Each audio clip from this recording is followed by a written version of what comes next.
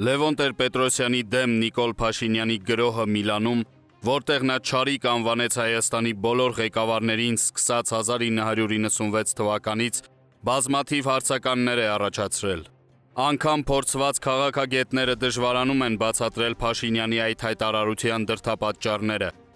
Իսկապես շատ դժվար է բացատրել, թե ինչու պետք է Փաշինյանը քարոշչական հարվածներ հասցներ մի քաղաքական ուժի, որը լիովին աջակցում է Թավշյա ժողովրդավարական հեղափոխության օրակարգի իրականացմանը, ել չասած, որ 2007-ից 12 թվականներին հենց Լևոն Տեր-Պետրոսյանի ղեկավարած այդ ուժն էր իր հետ միասին առաջնորդում հեղափոխության օրակարգով համաժողովրդական շարժումը։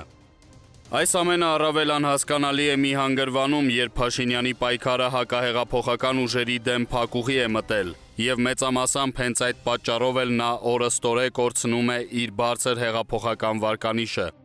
Իշխանություններն այդպես էլ չկարողացան վերցնել վերջին հակահեղափոխական բաստիոնը, սահմանադրական դատարանը, որը պատրաստվում է նոր հարվածներ հասցնել մարտի 1-յան գործով։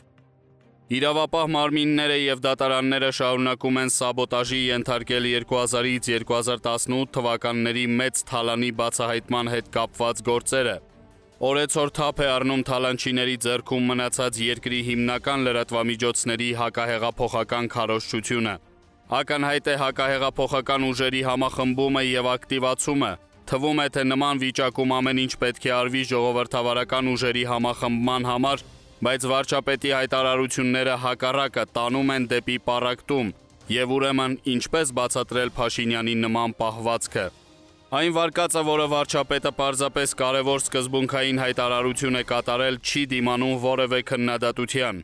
1996 թվականի ընտրությունների վիճահարույց բնույթը էապես տարբերվում է նախագահական մյուս աղմկահարույց ընտրությունից։ 1996-ին ամբողջ ընտրության ժամանակ չեն եղել բռնություններ կամ ընտրակաշարքի բաժանում, իսկ դրանք կարող են տեղի ունենալ միայն պետական համակարգի հովանավորության պարագայում վկայելով կեղծման համակարգային պատվերի մասին։ Ընտրատեղամասային բոլոր հանձնաժողովներում ընդդիմությունը ունեցել է մեծամասնություն։ Չեն եղել նաև ճնշումներ սահմանադրական դատարանի վրա, որոնք Գագիկ Հարությունյանի վկայությամբ սկսվել են Ռոբերտ Քոչարյանի օրոք։ Եվ վերջապես ընդդիմությանը տրված էր հնարավորություն բացելու եւ ստուգելու բոլոր ընտրական արկղերը, բայց նա գերադասեց գրոհել ազգային ժողովը եւ փորձել բռնությամբ զավթել իշխանությունը։ Փաշինյանն այս ամենի մասին շատ լավ գիտի։ Նա գիտի նաև, որ նման հայտարարությամբ հարվածում է հենց իր սկզբունքայնությանը, քանի որ 2007-ից 2012 թվականը ջանք ու երան չի խնայել իր հրճակած ճարիքին Հայաստանի ղեկավար կարգելու համար։ Եթե սկզբունքը չէր, ապա գուցե քաղաքական նպատակահարմարությունն էր առաջնորդել Փաշինյանին։ Գուցե վերջին հարցումները անհանգստացրել են վարչապետին եւ նա որոշել է, որ Տեր Պետրոսյանին պախարակելը թույլ կտա ստանալ առաջին նախագահին բացասաբար վերաբերվող ընտրազանգվածի աջակցությունը եւ շտկել իրավիճակը։ Սա էլ չի կարող լիարժեք բացատրություն լինել։ Հետ հեղափոխական ընտրություններն արդեն տեղի են ունեցել, ընտրազանգվածներն արդեն դիրքավորվել են եւ Տեր Պետրոսյանից սահմանազատվելով Փաշինյանը նոր զանգված չի կարող ձեռք բերել, այլ միայն կարող է կորցնել առաջին նախագահին համակրող զանգվածը, որը Թավշյա հեղափոխությունից ի վեր մշտապես քվյարկել է իմ քայլի օկտին, հետևելով հակի դիրքորոշմանը։ Պարզից էլ պարզ է, որ նման զարգացումը կթուլացնի ժողովրդավարական ճամբարը քաղաքական ճակատագրական մարտերից առաջ։ Ինչպես տեսնում ենք, Փաշինյանի պահվածքը չի բացատրվում ոչ սկզբունքայնությամբ, ոչ էլ քաղաքական հաշվարկով։ Խնդիրը սակայն այն է, որ մենք փորձում ենք փնտրել հարցի պատասխանը քաղաքագիտական հարթության մեջ։ Ցավոք սրտի այստեղ ավելի շուտ մենք գործ ունենք իրացիոնալ հոգեբանության եւ քմահաճ երազանքների հետ։ 2018 թվականի Թավշյա հեղափոխությունն իրավամբ կարելի է համարել ծերունդների հիացմունքին արժանի հրաշալի արարք, բայց երբ Փաշինյանն ու կողմնակիցները սկսում են համեմատել նրան Հիսուս Քրիստոսի հետ, մատնում են նրա հոգեբանության մեջ խոր արմատներ թողած նարցիսիզմը եւ մեսիականությունը։ Նման հոգեբանության տերմարտիկ ցանկանում են ընկալվել որպես ազգի միակ փրկիչը Մարգարեն, որոնց գալուց առաջ ազգը ըստ էության գոյություն չուներ, քանի որ խարխափում էր ֆիզիկական եւ հոգեվոր մթի եւ ցրտի մեջ։ Նիկոլ Փաշինյանին դուր չի գալիս այն հանգամանքը, որ Հայաստանի ժամանակակից պատմությունը սկսվել է 1988 թվականի համաժողովրդական շարժման զարթոնքով եւ 1991 թվականին Հայաստանի անկախացումով։ Նա կարծես ցանկանում է, որ մեր հանրությունը ջնջի այդ հերոսական անցյալի մասին հիշողությունը եւ Հայաստանի նոր պատմության սկիզբ համարի 2018 թվականի Թավշյա հեղափոխությունը,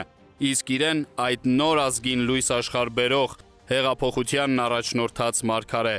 Հետևաբար ամեն ինչ այս անգամ աննախադեպ է։ Չեն եղել Ղարաբաղ կոմիտեի համաժողովրդական ցույցերը, Հայաստանը չի ունեցել ընտրված եւ սիրված իշխանություն, որը վայելել է նաեւ ամբողջ միջազգային հանրության հարգանքը եւ ճանաչումը։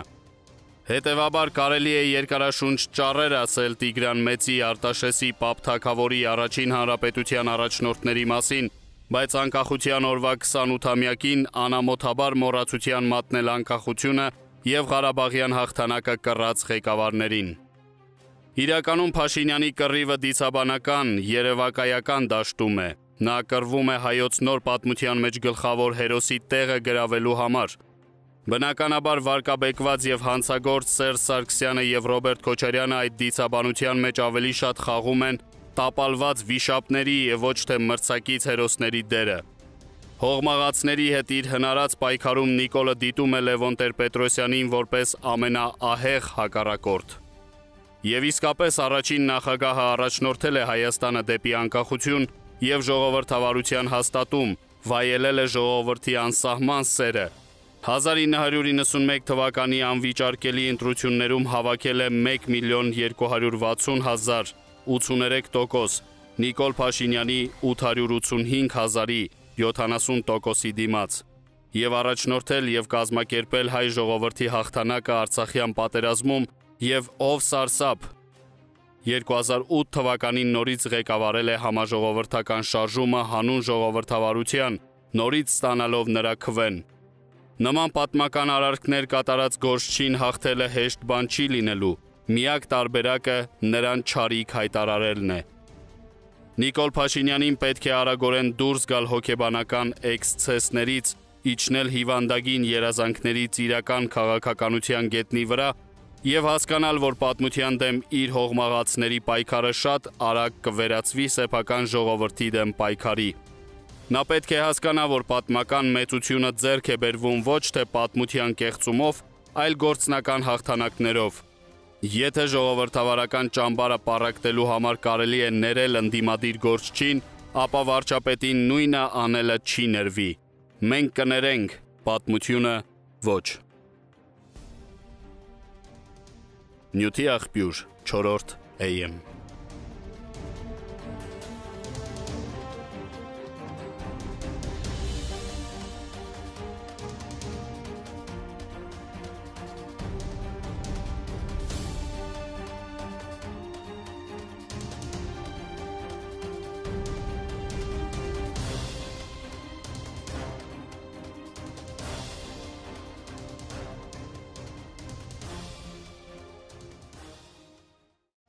90-ական թվականներից սկսած մինչև 2000-ականների կեսերը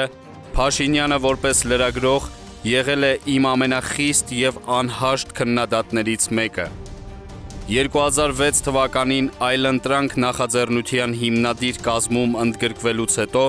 նա դադարեցրել է այդ քննադատական վերաբերմունքը։ 2007-ին ընդգրկվել է 2008 թվականի նախագահական ընտրությունների իմ նախընտրական թիմում։ Հսկայական աշխատանք է կատարել քարոզարշավի ընթացքում, ինչը ակտիվորեն շարունակել է ընդհատակում եւ բանտարկության ժամանակ հրապարակված ծանրակշիռ հոդվածներով։ Նույնպիսի նվիրումով ու ջանադրությամբ մասնակցել է Հայ ազգային կոնգրես դաշինքի 2012 թվականի խորհրդարանական ընտրությունների քարոզարշավին եւ ընտրվել ազգային ժողովի падգամավոր նույնանուն խմբակցության կազմում։ 2014 թվականին ՀԱԿ ԲՀԿ ժառանգություն համագործակցության կայացումից հետո նա խզել է իր հարաբերությունները կոնգրեսի հետ եւ վերականգնել իր քննադատական մոտեցումը իմ նկատմամբ։ Այս ամենը նշանակում է, որ միայն հիվանդ ուղեղներում կարող էր ծնվել Փաշինյանի իմ քաղաքական հոգեզավակը լինելու ցնորալի գաղափարը։